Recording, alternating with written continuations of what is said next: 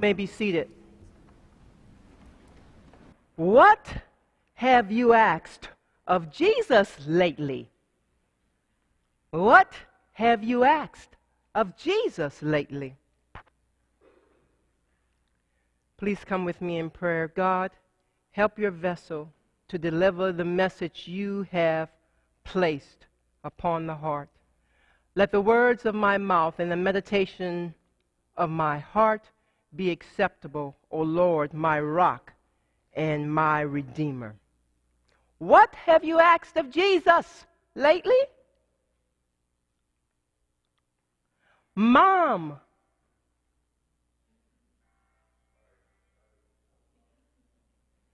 This, is, this, message is good because it stepped on the toes of your pastor. So I'm going to let you turn it off or whatever. What have you asked of Jesus lately? Mom, please. Husband, will you? Wife, will you? Partner, will you?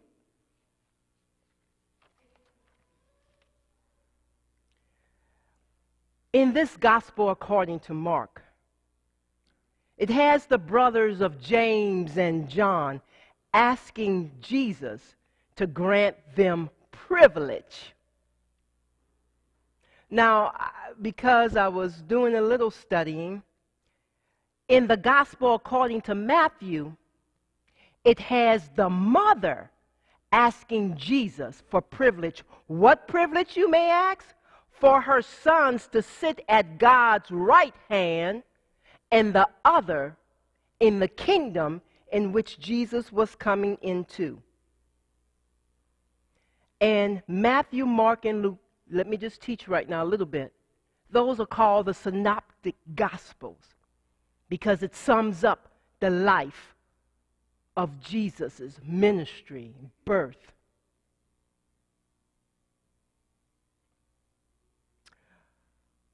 But back to our text, the gospel according to Mark 10 35 through 45. The disciples asked out of selfishness to sit at the right hand or the left hand of God. They were asking Jesus to give them an edge.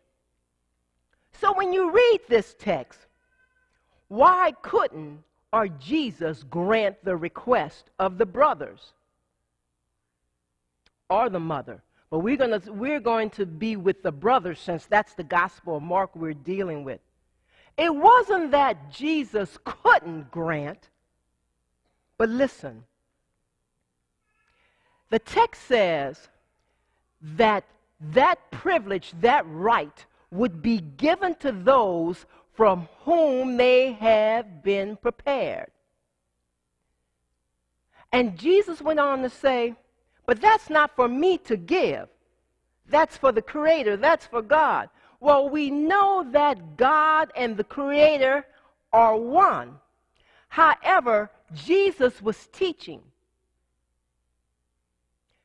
When we go to Jesus asking for things in prayer, they must be for non selfish reasons. Jesus was teaching them that you must be non selfish workers. Stop worrying about who's going to get accolades. Stop worrying about who's going to sit on the right hand of the Creator. I am the Son. I came down to save your life. I'm paraphrasing now. And you're worrying about who's going to sit on the right or the left hand of God? That's not for me to give. And then in studying this text, the question can be asked well, why were the other disciples angry at James and John? And I want to put back into your memory that John was the disciple. If you don't believe what I'm saying, go to the gospel according to John. It says, John says about himself, I'm the one who Jesus loved so. So if Jesus loved him so. Why couldn't that be granted?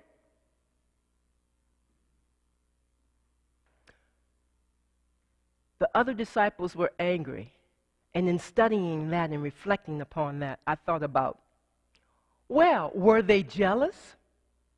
Were they jealous that Jesus would or, or could possibly give them the upper hand in the kingdom?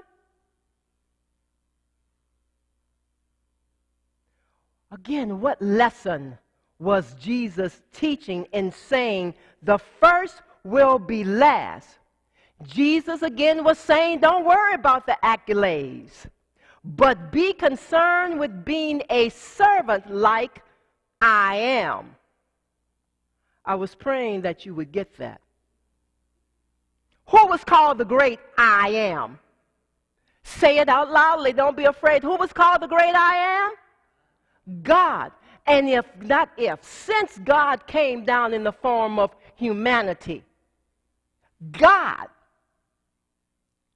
to be a servant, why shouldn't you? That's the lesson Jesus was teaching. Don't worry about being great. Now, James and John weren't about being great, but they were the same disciples that ran away when God was being, God as Jesus, Jesus as God, was being held on trial, was being whipped, was being stripped. And these are the same disciples who said, can I be on your left? Can I be on your right? And the other ones, I'm believing they were just angry, not because they asked Jesus, but that they didn't ask first. Don't worry about being great. The disciples had to learn that ministry, being a servant of God, like we all are, are supposed to be, must mean doing and not being worried about being honored. If honor occurs through that of God, fine. Then you have to not worry about all your stuff. Sometimes I become so overwhelmed and, and I say, God, take care of Durham, North Carolina. But then, in doing this research for this lesson, for this sermon, it came to me what have I asked of Jesus lately? And although 1 John chapter 5 and 14 says, this is the confidence in approaching God, in approaching God, that if we ask anything, and this is what gets me, if we ask anything according to God's will, God hears us. We know that we have what we ask for. So we don't have to worry God. God knows our hearts. The Bible says God will give us the desires of our hearts. The disciples had to learn that ministry, being a servant, is important. We have to learn that being a servant is so significant. So our prayer must be like Jesus said, He had come to serve and not be served. He had come not to ask God for selfish things, and I don't believe this is selfish. This is not in the sermon, but this was human. When Jesus said in the Garden of Gethsemane to remove this cup from me, he didn't want to go through the pain and hurt. It didn't say that he didn't want to save us, but he didn't want to go through the pain and hurt. But when he said, Nevertheless, not my will, but thy will be done. So, what will we ask of Jesus in the days to come? This is what you're supposed to learn from this text. Because the disciples didn't ask correctly from Jesus. Yes, we have our needs. Yes, we have our wants. Yes, We want God to bless our families. I ask God right there with my little ones to protect. I still ask God to take care of North Carolina, to take care in Lenox. But the ultimate prayer, the ultimate asking of God for you and for me, God, please help me to be a better person. God, please help me not to keep up so much confusion. God, please help me to be a better Christian. God, please help me to be a better partner. God, please help me to be a better wife and a better husband. God, please, you, Jesus, help me to be more like you.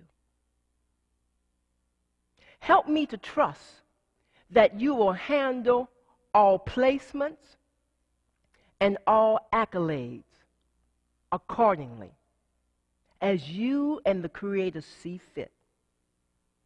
I just need the Holy Spirit to help me be obedient. Are we willing to drink of the same cup as Jesus did? He was ostracized, he was persecuted. However, he still washed the feet of his disciples.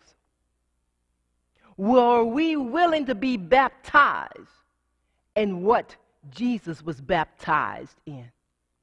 I keep telling people that's just an outer, that baptistry is just an outer demonstration of what has happened within and what we are supposed to do as followers of Christ. That doesn't save you. Believing upon the Christ saves you. But when you believe upon the Christ, that helps you, enables you to do ministry on behalf of Christ, not worrying about accolades. And finally, when Jesus said, for the Son of Man, and that's just a term because Jesus came down through that of humanity, and he was a friend to us all, came not to be served, but to serve, and to give his life as a ransom for many. I bet you some of you would give your lives for your partners, for your spouses, for your children, for your grandchildren. And maybe on some days you'll say, Oh, I don't know about that. I don't know if I'm going to give my life for them. But in that of service, Jesus kept saying, I'm here to serve. I'm God. And I'm not worrying about who's going to sit on the right or left. And furthermore, that's only for God. But He's really saying, you know, that's for us to decide. You just do the work. You just be a part of the ministry. You just be obedient. You just do my will. Don't worry about people patting you on your back. Yes, we want accolades sometimes. It feels good. But if you don't get it, don't stop working. Not in this church, but I have heard of people in other churches. They didn't call my name. And I worked my fingers off. I'm not doing it anymore. Well, why were you doing it, James and John? Did you want to sit on the right or left side? You do it because you have been called to do it by that of the highest servant of them all, that of Jesus. What have you asked of Jesus lately? It should be give me strength to keep doing the work. Give me strength when I am hurt. Give me strength when I feel like there's no one on my side. Give me strength. What have you from the pulpit to the pews asked of Jesus lately? Amen. That's